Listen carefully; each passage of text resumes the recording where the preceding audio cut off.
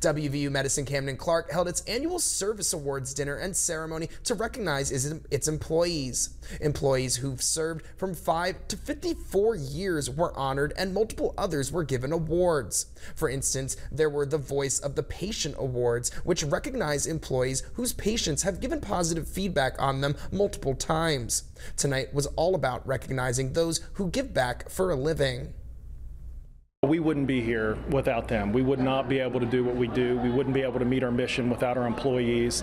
Um, we have so much experience, and we want to be able to recognize the sacrifice that our employees make to be able to serve the healthcare needs. This year's Leader of the Year award went to Zach Campbell, the Director of Engineering and Facilities. The award goes to someone who's demonstrated the hospital's mission has a lot of influence and has brought people together.